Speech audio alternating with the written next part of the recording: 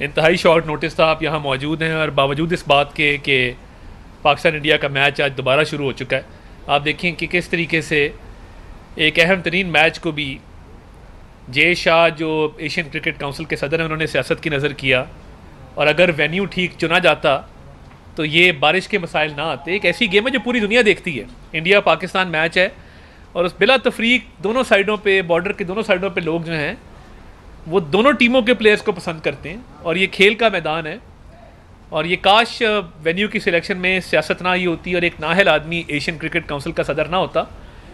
तो आज ये मामला ना होते पीसीबी को फिर भी सलाम है। उन्होंने बड़ा अच्छा इसको मैनेज किया और बड़े अच्छे तरीके से उन्होंने अपना मौक़ आगे पेश किया, जिसकी वजह से आज रिज़र्व डे भी रखा गया है।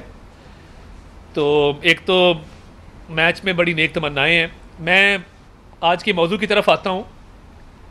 बड़ी बदकिस्मती है कि सदर पाकिस्तान का जो अहदा है, उसकी एक मियाद है, एक टेन्योर है। सदर पाकिस्तान के अहदे की मियाद 9 सितंबर 2023 को ख़त्म हो चुकी है। सदर पाकिस्तान, आरिफ अलवी, सदर मुंतखब हुए थे पाँच साल के लिए। उनके अहदे की मुद्दत 9 सितंबर 2023 को ख़त्म हो चुकी। अब आर्टिकल 44 के तहत अगर उन्होंने सदर के अहदे पर बरकरार रहना है तो वो अबूरी सदर हैं। और अबूरी सदर होने के साथ साथ एक स्टॉप गैप अरेंजमेंट है। सदर ममलिकत को ये इख्तियार किसने दे दिया कि वो इलेक्शन की तारीख का ऐलान करने जा रहे हैं, अबूरी सदर होते हुए? और बतौर अबूरी सदर, क्या इनका कोई नोटिफिकेशन जारी होना था कि मुद्दत मुलाजमत या अहदे की मुद्दत ख़त्म होने के बाद वो अपने अहदे पर बरकरार रहेंगे? आइन का आर्टिकल 44 जो है आर्टिकल 44 के तहत क्या कोई नोटिफिकेशन जारी किया गया इसका जवाब है नहीं। तो सदर नए सदर के इंतखब तक सिर्फ़ इसलिए अपने अहदे पर बरकरार बर, बर, बरकरार रहता है ताकि रोज़मर्रा के गवर्नमेंट के कामों में दिक्कत ना आए। रोज़मर्रा की जो हकूमत की फंक्शनिंग है जो हकूमत के जिसको कार्य सरकार कहते हैं उसमें किसी किस्म की दिक्कत ना आए। इसलिए सदर अपने अहदे पर बरकरार रहता है, वरना आइन के अंदर तो मौजूद है। चेयरमैन सेनेट एक्टिंग सदर हो सकता है। तो एक अबूरी सदर इलेक्शन की डेट की अनाउंसमेंट कैसे करेगा? 9 सितंबर के बाद आइन का आर्टिकल 58 की शेक जिसके तहत इलेक्शंस की अनाउंसमेंट का सदर के बारे में लिखा गया है, वो शेख गैर फहाल हो चुकी, क्योंकि सदर सदर नहीं रहे और अबूरी सदर के अहदे पर आ गए। तो पॉलिसी मैटर्स में जो अहम कानून साजी है, अहम फैसला साजी है, उसमें सदर ममलिकत का अब कोई किरदार नहीं रहा बतौर अबूरी सदर के। अब लॉ मिनिस्ट्री से बतौर सदर जब उन्होंने तजावीज़ मांगी कि क्या इलेक्शन नबे रोज़ में होना है, क्या इलेक्शन की तारीख का ऐलान मैं करूँगा तो उसका जवाब आया कि नहीं इलेक्शन कमीशन करेगा इलेक्शन एक्ट के तहत। अब जब इलेक्शन एक्ट के तहत इलेक्शन कमीशन ने इलेक्शन की तारीख का ऐलान करना है तो सदर ममलिकत सिर्फ़ जो अब मीशत को थोड़ा संभाला मिला है, मीशत बेहतर होने जा रही है। डॉलर का रेट आपने देखा अल्लाह ताला के फजल से, जब ये क्रैकडाउन हुए हैं, डॉलर कितना नीचे आया, इस्लामाबाद में आप निकलें 280 की आवाज़ लग रही है 270 की आवाज़ लग रही है मुख्तलिफ़ जगहों के ऊपर डॉलर नीचे आ रहा है, बाहर से इन्वेस्टमेंट आ रही है मीशत के हवाले से हौसला अफजा खबरें आ रही हैं और सदर वही कर रहे हैं जो उनकी जमात ने हमेशा किया है। जैसे ही पाकिस्तान इस्तेकाम की शारा पर गामजन होता है, जैसे ही पाकिस्तान की मीशत बेहतरी की तरफ़ जाने लगती है, ये तरीके इंसाफ और इनके सदर पाकिस्तान को गैर मुस्तकम करने की साजिशों में मुलविस हो जाते हैं। इन्हें कहा था पहले इलेक्शन करवा लें मई में कहा था, ये नहीं माने। उसके बाद भी नगोसिएशन में बात हुई। ये इलेक्शन की तारीख पर आमादा नहीं हुए। फिर इन्होंने आर्टिकल तिरसठ ए की गलत तशरी सुप्रीम कोर्ट से करा के हुकूमतें लीं, पंजाब की हुकूमत ली, और उसके बाद असम्बलियाँ तोड़ी और फिर ज़िद पर अड़ गए। तो ये इलेक्शन एक्ट के तहत इलेक्शन कमीशन का इख्तियार है कि वो तारीख अनाउंस करे। अब करेंगे क्या? ये एक तारीख अनाउंस करेंगे। सदर ममलिकत जो कि अब अबूरी सदर हैं। वो तारीख अनाउंस करने के बाद मुल्क में एक बुरान पैदा कर देंगे, गैर यकीनी की सूरत हाल पैदा कर देंगे और जो इकॉनमी बेहतरी की तरफ़ जा रही है, उसको रोकने की कोशिश करेंगे। माजी में ऐसा ही हुआ है। आईएमएफ की डील को साबोटाज करना, आईएमएफ की डील को ताखीर का शिकार करना, सदर ने काजी फजीसा साहब के खिलाफ रेफरेंस भेजा, गैर आइनी काम किया, सदर ने जो असम्बलियाँ तोड़ी तरीके अदम अतमाद के बावजूद गैर आइनी काम किया। सदर ने इलेक्शन कमीशन के मेंबर की अपॉइंटमेंट की, गैर आइनी काम किया। अब देखिए, जब तक ये मुकम्मल तौर पे सदर थे 9 सितंबर से पहले, इनके पास पास मुकम्मल उदा था, तब तो ये चाहते तो कोई ना कोई ये काम कर सकते थे। अब अबूरी सदर के तौर पे 9 सितंबर के बाद ये कोई डेट अनाउंस नहीं कर सकते। गैर कानूनी होगा, गैर आइनी होगा।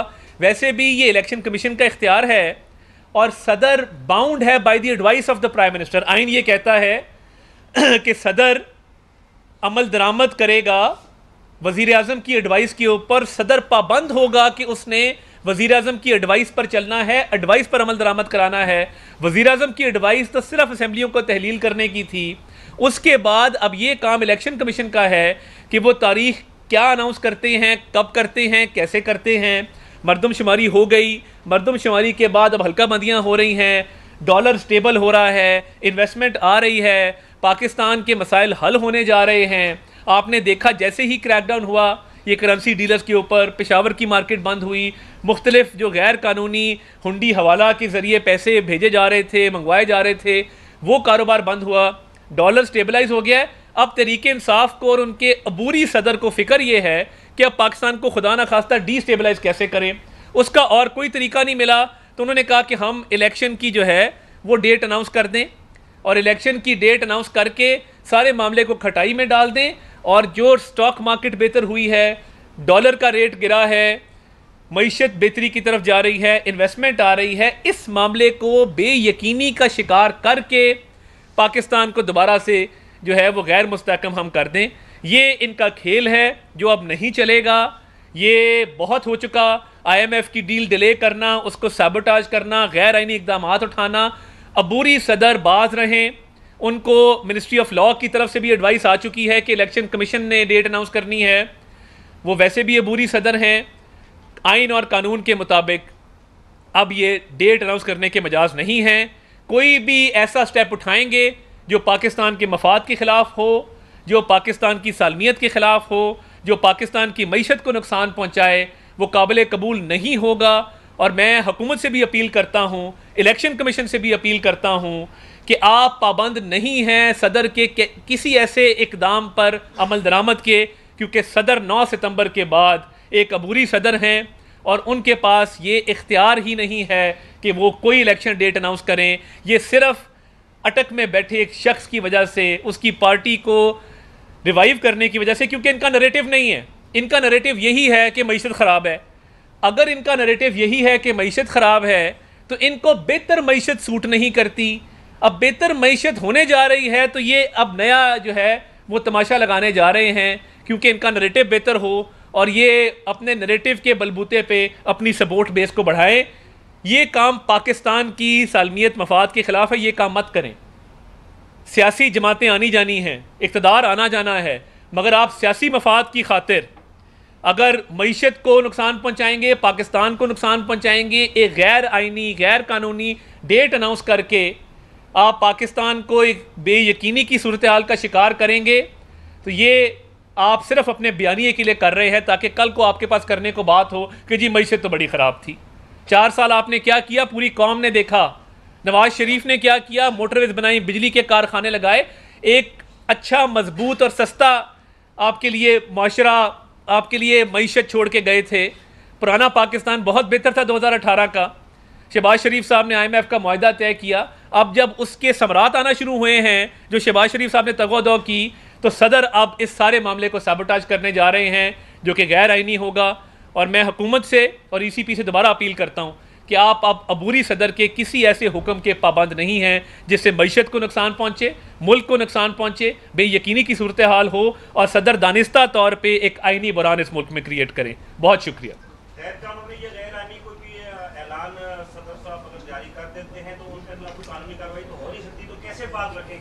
देखिए मेरा ये ख्याल है कि हुकूमत के पास अब ऑप्शन मौजूद हैं सदर का बतौर अबूरी सदर की कोई नोटिफिकेशन ना मैंने देखा, ना आपने देखा है।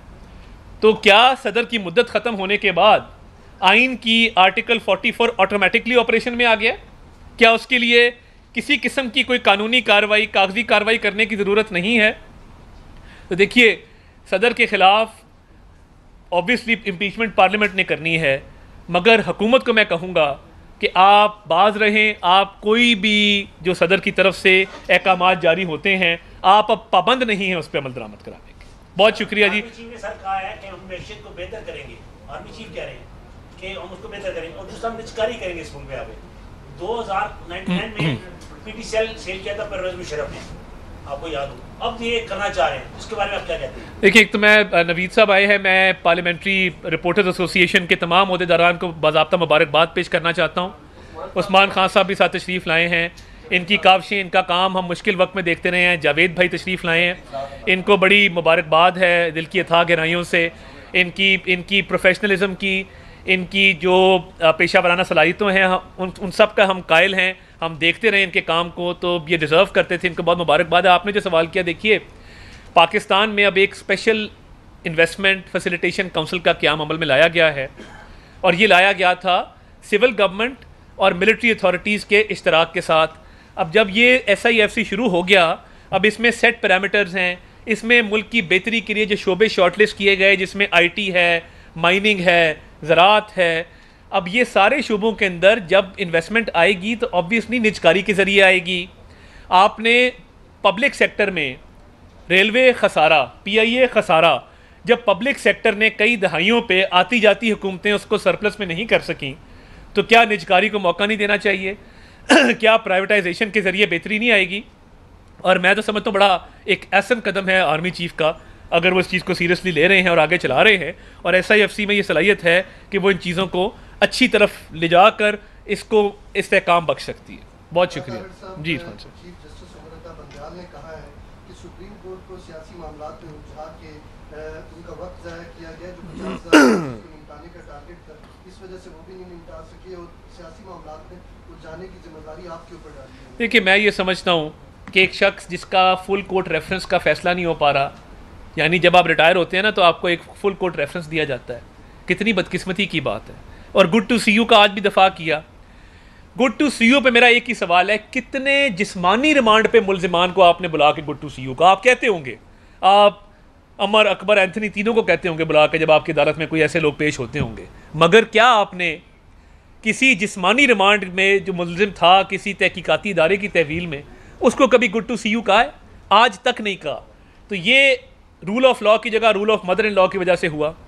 और आपने मुल्क को जिस तरीके से बुरानों का शिकार किया बार बार किया, वो काबिल मजम्मत भी है। और मैं तो समझता हूँ कि आज भी जिस तरीके से रिलीफ दिया जा रहा है एक सियासी पार्टी को, सबके सामने अपनी सास की ऑडियो की तहकीकात कौन रोकता है? यानी आपको चाहिए था आप उस बेंच को हेड ना करते, ना बैठते, किसी और के ज़िम्मे कर देते। आपने आप अपनी सास को क्लियर करा के जाते, अगर वो बेगुनाह थी, कोई भी बेंच बैठ जाता, कोई भी कमीशन बैठ जाता, आप नया कमीशन बना देते। आप कहते कि हुकूमती कमीशन मुस्तरद, मैं अपनी सास को कटहरे में लाता हूँ, जिस तरह काजी फायदीसा साहब की अहलिया कटहरे में आई थी, और मैं ये कमीशन बनाता हूँ, ये कमीशन इसकी तहकीकात करेगा। आपने उस ऑडियो की फोरेंसिक नहीं होने दी। तो मैं अब क्या कह सकता हूँ? कि आपने अपनों का ही फ़ायदा किया, जो आपके अपने घर वाले थे और आपका महबूब लीडर इमरान खान था। बाकी आपने इस ना इस मुल्क का भला किया, ना इस मुल्क के मफाद में कोई फ़ैसला किया। और आज आप घर जा रहे हैं तो आप देखें कि पूरे मुल्क में आपके बारे में क्या बातें हो रही हैं। बहुत शुक्रिया जी। थैंक यू अबूरी सदर वाला जी, अब